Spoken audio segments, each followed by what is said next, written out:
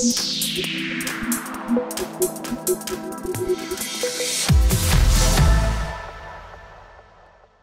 Mr. Victor. Welcome to InfoSec Train. Thank you. How are you? All good, sir. How are you? Great, great, great. Perfect. First of all, grand congratulations to you on behalf of all of us for clearing one of Information Security's gold standard certification, CISSP. We are curious to know how was your experience while preparing for CISSP. Yes, though the experience has been great.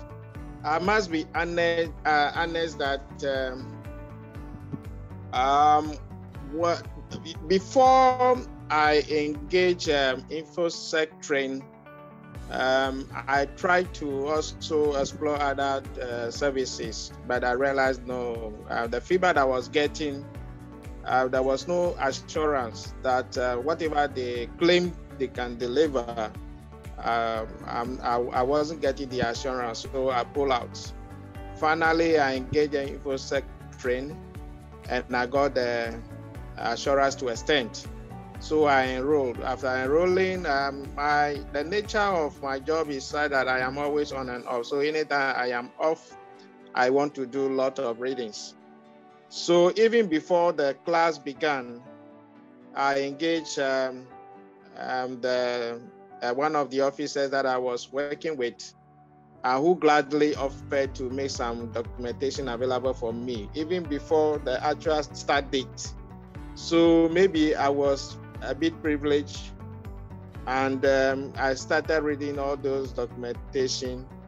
So, um, in summary, before probably I get to a key relevant point, I would say that the experience has been great Kamlesh did a yeoman job. He did excellently. The engagement was excellent. Um, one-on-one engagement. Anytime you call on him, he is more than ready to support. And where you know you, I realized I was not getting it as expected. Uh, if I sought clarification, um, Kamlesh was more than ready to respond. And so I would say that um, it has been the excellent support from uh, InfoSec Train that made it possible. Glad to know that. Any suggestions or tips you want to share with the CISSP aspirants who are about to appear for their CISSP examination anytime soon? So um, I would say that uh, it is important that uh, one should read a lot. Lot of documentation as provided by Kamlesh very excellent. They are all good books. Initially, I was a bit uh, skeptical because I realized that the versions that I was familiar with, they were kind of old versions. So I kept on pushing for the current version. But I realized that, hey, come on, the concept is probably uh, almost the same. Uh, with my experience across the various domains, um, I what I noticed was that I just have to let go I mean, my technical stuff, and concentrate on uh, taking like a manager. One of the books that, or one of, yes, one of the books that uh, I read. And also, there was also another book that um, that was also helpful, which is the the Memory Palace. Yeah, that book was also very very excellent to you know remind me of uh, how to actually get ready. Um, with the hot topics that uh, uh, was shared, I kept on make, uh, reading them to just to confirm or assure myself that actually I am okay with all the hot topics. So I'll go through the hot topics, whichever that is problematic, become the topic for the next day. So I was reviewing all the hot topics almost every day of the hot topic with the relevant, you know, materials that could give give me the best support. At the end of the day, the hot topics kept on reducing. I would say. So, for instance, in domain one, if we have, if I have like uh, about 20 hot topics, because I become familiar with maybe 10 or 12 of them, to me, they are no more hot topics for me, from my understanding so that I can focus more on the those that were problematic. So I was doing the elimination.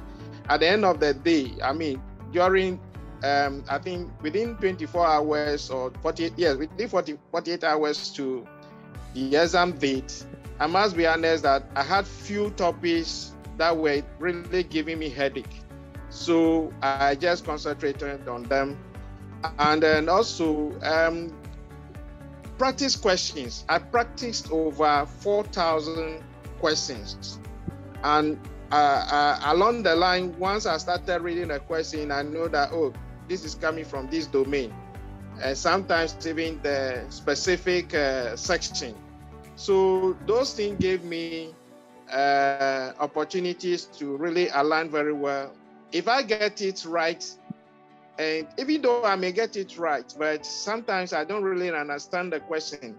So what I do is go back to the question or Google the question. Maybe there are some additional information to throw more light on why the explanation um, is as expected, or instances where I got, got it wrong, or even the even sometimes even though I am very much aware that this is correct, but uh, I just make sure that even the wrong questions, I tried to understand why they were wrong, and so those were the things that actually gave me uh, the comfort that okay, more or less probably I'm more than ready for the exam, and. Uh, uh, the understanding of the question is very, very important.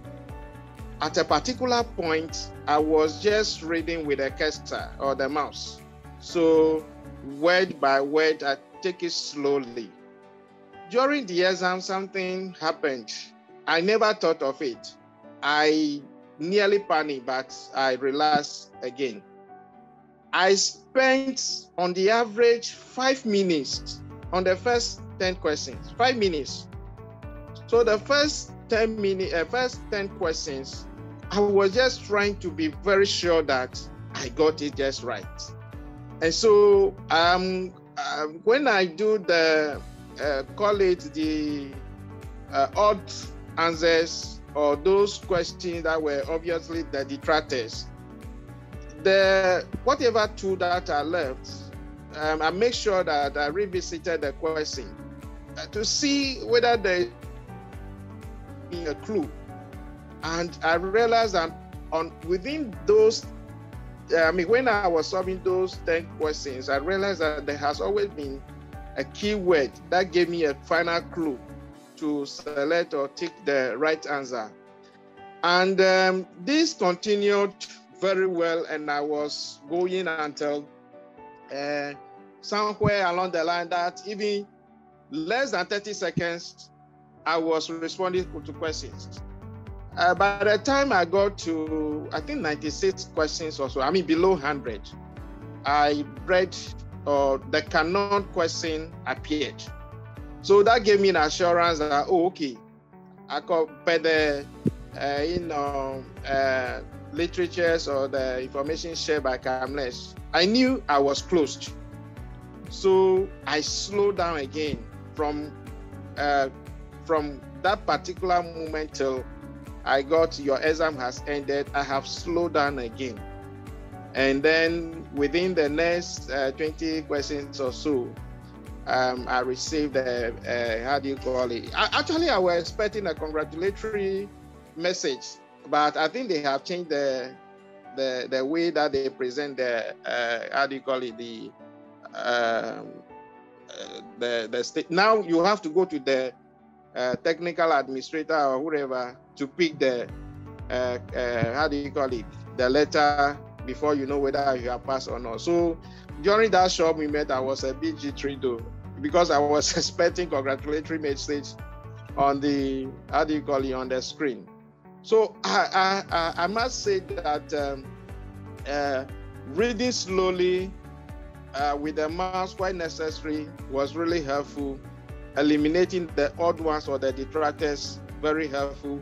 Reading again and again just to confirm the answer that you want to select what was very, very, very necessary and helpful.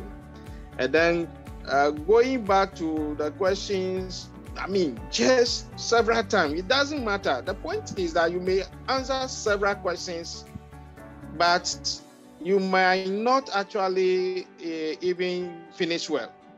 That was what I have noticed. So why not slow down, answer a few questions within the time limit, and then and then um, nail it, rather than trying exactly. to rush, yeah, trying to rush and then getting it wrong. So I anytime I not getting it, I am not in a rush at all to move to the next question. Mnemonics, very, very, very, very important. In fact, there were questions that if I didn't have the, mnemonics or I didn't remember the step the way I just want to remember the steps, there was no way I would actually get it. Because the steps very important. Whatever they are talking about, you could see that no, this is not the step. If you put uh, just just uh, down the the various you know point that you believe. At a point, I was even drawing in the exam room because I want to actually draw whatever and map them and then get it right. So make use of every tool available with you uh, so that at the end of the day, you know, uh, you get it right. The people around you, I think they are also very, very important. Um, you know, my wife was very, very encouraging. He, she was always encouraging me. Hey, what, what, what, what did you score today? What was the mark? Oh, I know you can do it. You can. So the people around you, exactly, uh, the energy they give you uh, is also equally important. So I must say that uh, these were the tricks uh, that worked for me. Uh, you must just you. There's no way you can do this without practicing, without reading enough, and areas that you believe are problematic. Just focus on those areas and then gradually you will realize that everything uh, will be easy. Thank you so much for sharing your valuable experience with us, sir. It was super exciting and great to have you and listen from you. There are many professionals like Mr. Victor who are enrolled with us for their CISSP and many other information security and cybersecurity certifications. We are reachable on www.infosectrain.com. Thank you so much, Mr. Victor, for your precious time. Thank you so much. Have a great day ahead.